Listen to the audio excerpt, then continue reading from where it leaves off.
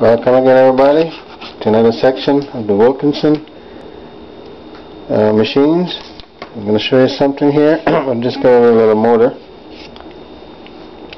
A motor can be a motor that generated one, the wire on the case and outside, and uh, couple wires hook up to the battery. You can make this thing run from the battery, this battery, and charge this battery. The, the charge ratio and the output ratio from out what energy used to run, the output will be 900% more than the input. Now, this circuit is a simple circuit by using diodes from the positive side of the battery to the base of the, the motor, and then from the negative of the motor to the negative of the battery. Then the other wire has a diode, which is going to be the trigger wire. This is what trigger the wire the system to run. And then through a diode, we're bringing it to the positive side of the 6 volt battery. now, the system works by activating the shaft with the wire, the run wire, then we see what's taking place.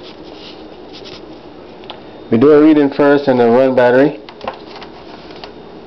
see the voltage we started with.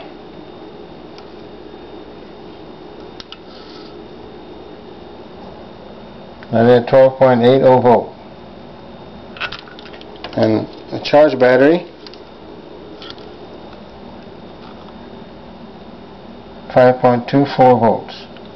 Now, by activating this, we can see that the charge battery will be getting a charge from the rotation of the, the motor.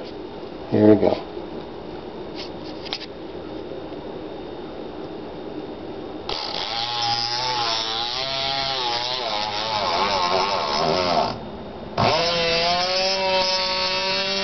Voltage increases and the motor is activated. And then we are going to test the voltage used while this is run battery just to differentiate the difference between run and the charge. Now here we go.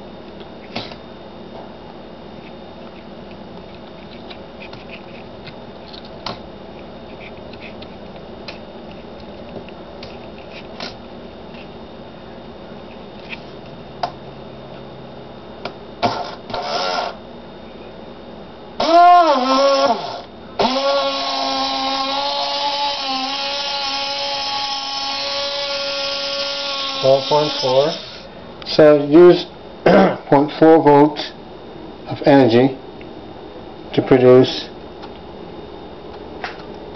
and uh, checking the air battery. So not even half a voltage used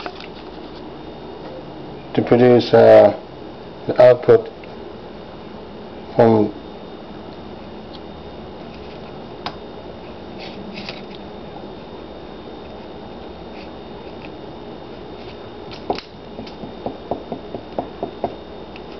no problem here.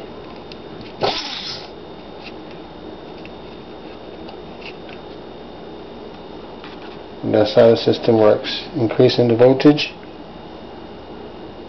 very tremendously.